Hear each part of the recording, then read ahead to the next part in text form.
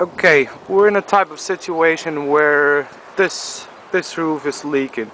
It's only five years old. Only five years old. Every roofer out there came here and said that there's nothing wrong with the roof. The roof is installed correctly, perfect, and everything. But what I notice here, you can note, you can see right here. The shingle is, is buckling right in the middle. And if you lift the shingle you'll see the nails. And the nails are rusty. And also right here you can notice that uh, the two shingles come together. There's a seam right there. And if you go above it it's it's the same situation all the way up there. And it's right where the two shingles come together.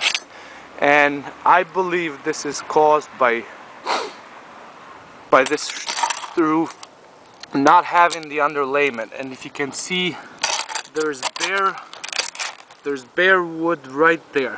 What's happening the heat the moisture and everything that's the only spot where it kind of escape and it come it comes directly and hit the shingle and and creates this buckling.